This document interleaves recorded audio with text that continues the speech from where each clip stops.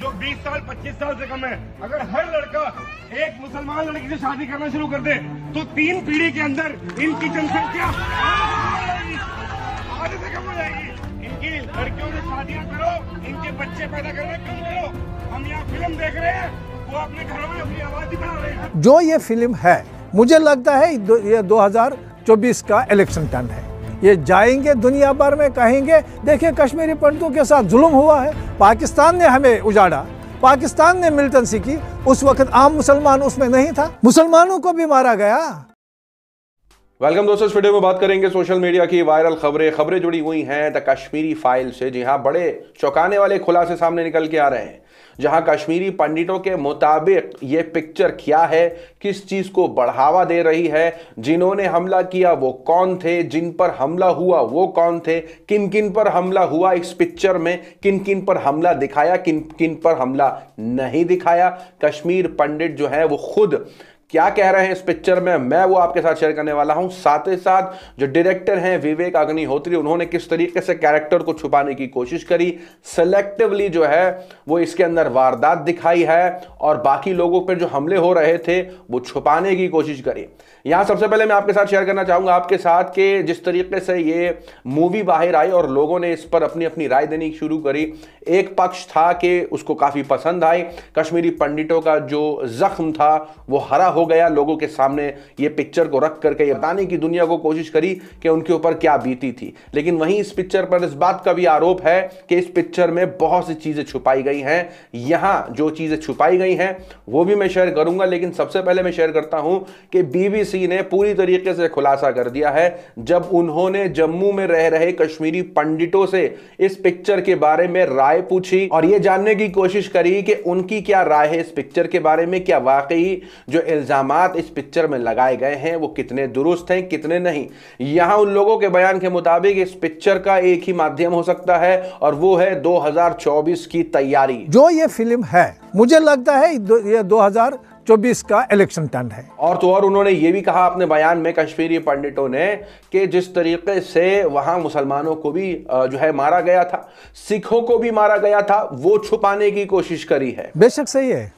कश्मीरी पंडितों के साथ जुल्म हुआ है, लेकिन इसमें यह भी होना चाहिए था, कश्मीरी मुसलमान जो हिंदुस्तानी है, उनको भी मारा गया, वो नहीं दिखाया गया है फ़िल्म में। और जो सिख मारे गए हैं वहाँ, मिलिटेंसी की वजह से, उसको नहीं फ़िल्म में जोड़ा गया है। और तो और मस्जिदों से सिर्फ़ कश्मीरी पंडितों के खिलाफ नारेबाजी नहीं हुई थी और बयानबाजी नहीं हुई थी।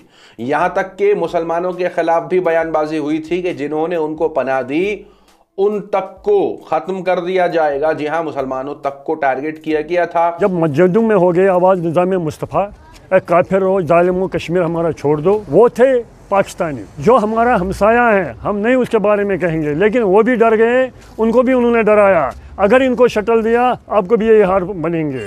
कश्मीरी पंडितों ने पूरी तरीके से धज्जियाँ उड़ा दी हैं और साफ़ रखने की अपनी बात को कोशिश करी है किस तरीके से ये पिक्चर सिर्फ़ और सिर्फ़ एक प्रोपेगेंडा की तरह है और लोगों के सामने सिर्फ़ नफरत भरने का ये पिक्चर काम कर रही है। हमें लास्ट पर यही दिखता है कि जो दूरियाँ थी हमारी, जो हमने नज़दीक किए थे, जिनको हमने पास पास लाने की कोशिश की थी उसको मुझे लगता है कि इससे और ज़्यादा दूरियाँ होंगे क्यों? कुछ कश्मीरी पंडित ने तो ये तक मांग कर दी कि वो चाहते हैं कुछ डायरेक्टर और प्रोड्यूसर से कि वो मूवी बनाए लेकिन दोनों पक्ष दिखाएँ क्योंकि इस पिक्चर में जिस तरीके से एक पक्ष दिखाने की कोशिश करी है कश्मीरी पंडित खुद चाहते हैं कि दोनों पक्ष की बात होनी चाहिए। ये जो फ़िल्म बनाई गई है ये एक तरफा हमारे काज को उजागर करने के लिए किया है। और कोई फ़िल्म प्रोड्यूसर निकले, वो दो तरफा करे। मैं उसको बोल्ड मानूँगा, जो दो तरफा जो जेनोसाइड हुआ है, उसको उजागर करके एक फ़िल्म बनाए। इसलिए मैं और किसी प्रोड्यूसर डायरेक्टर से अपील करता हूँ कि दोनों साइड के इस माहौल को, जो उन पर भी गुजरी है मेजॉरिटी कम्युनिटी पर भी, उनके और हमारे जख्मों को पूरा उजागर करे ताकि दुनिया को और भी पता चल जाए कि एक तरफा ये जो मेजॉरिटी पर जुल्म हुए हैं वो कहाँ से आए? वो भी पाकिस्तान स्पॉन्सर्ड थे। कुछ कश्मीरी पंडित के मुताबिक तो उनको टिश्यू पेपर की तरह यूज़ किया गया है पॉलिटिकल पार्टी के द्वारा। किसी भी पॉलिटिकल पार्टी की तरफ़ से इनके लिए जो मदद है वो इतनी नहीं आई जितनी इन पर चर्चा हो गई है। हमारे नाम पर जो खाली पिक्चरें बनी और कुछ नहीं हुआ है। ये एक जिस हिसाब से हमें 1990 से लेकर आज तक जो है, एक पॉलिटिकल टिश्यू पेपर की तरह हमें यूज़ किया गया है। और आज भी वही हो रहा। साथ ही साथ कश्मीरी पंडितों ने भारतीय जनता पार्टी तक को घेर लिया है कि भारतीय जनता पार्टी ने भी इतने सालों में क्या करा कश्मीरी पंडितों के लिए। जो सरकार को करना चाहिए था। आठ साल की सरकार है बीजेपी की सरकार की, जो दूसरी सरकारों पर इलिगेशन देते थे, इन्होंने नहीं किया, इन्होंने कश्मीरी पंडितों को उजाड़ा, लेकिन इस सरकार ने भी आज तक हमारी सुध नहीं ली, बीजेपी ने। तो यहाँ सबसे बड़ी बात यह है कि जो लोग इस पिक्चर को देखने के बाद एक तरफा अपनी राय को बना रहे हैं और अगर हम देखें तो यहाँ सिनेमा हॉल के बाहर नारेबाजी हो रही है। अगर उनके जहन में ये सारी बातें ऐसी हैं कि ये जो हमले हुए हैं, वो पाकिस्तानी मिलिटेंट्स के द्वारा हुए हैं, ना कि भारत में रहने वाले मुसलमान के द्वारा तो फिर ये नारेबाजी जो हो रही है, ये जो टीवी पे बैठ करके ये बातें कही जा रही हैं कि बत्तीस सालों से कश्मीरी पंडित बहुत रोए हैं, अब उनके रोने की बारी तो ये सारी जो बातें हो रही हैं, ये किन के लिए हो रही हैं, सबसे बड़ा सवाल इस वक्त इस बात पर पूछा जा रहा है और जो लोग सिनेमा हॉल से निकल रहे हैं, जो लोग सिनेमा हॉल में ये मूवी देख रहे हैं, वो जो इमोशनल हो रहे हैं, क्या वो पाकिस्तानियों के बारे में ये राय रख रहे हैं या भारतीय मुसलमानों के बारे में ये राय रख रहे हैं? ये भी एक बहुत बड़ा सवाल है।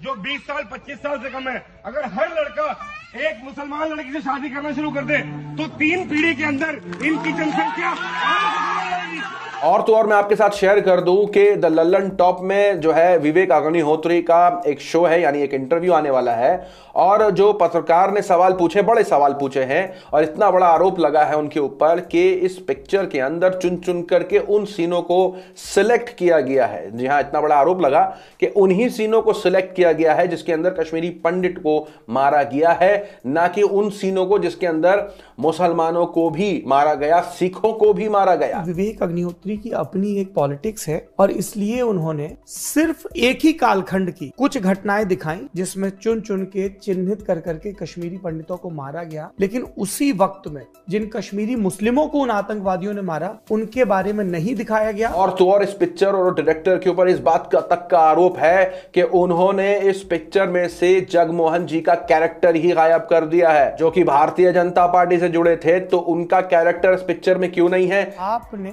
consciously कुछ चीज़ों को छोड़ दिया। एक जो किरदार है, जगमोहन जी का, जगमोहन नहीं दिखते हैं, इसकी क्या वजह लेकिन वही वाली बात है कि डायरेक्टर हैं और उनकी तरफ़ से ये एक सिर्फ़ मूवी है। जी हाँ जो लोगों के लिए एक इमोशनल है, जो लोगों के लिए ये कहीं ना कहीं उनके दुख और दर्द को ताज़ा करने वाली पिक्चर है तो एक डायरेक्टर के लिए ये सिर्फ़ और सिर्फ़ मूवी है, क्योंकि वो खुद कह रहे हैं कि इस पिक्चर में उसने क्यों नहीं चर्चा करी, उस पिक्चर में क्यों नहीं चर्चा करी क्यों ये डायरेक्टर ऐसी बयानबाजी कर रहे हैं? जब उनके लिए भी वो चाहते हैं लोग इस दुख और दर्द को याद रखे हैं तो फिर वो ये बातें क्यों छुपा रहे हैं लोगों से? सबसे बड़ी जो सवाल है, वो ये है तो जैसे कि मैंने बताया कि इस तरीके से इस पूरी पिक्चर को इस वक्त देखा जा रहा है।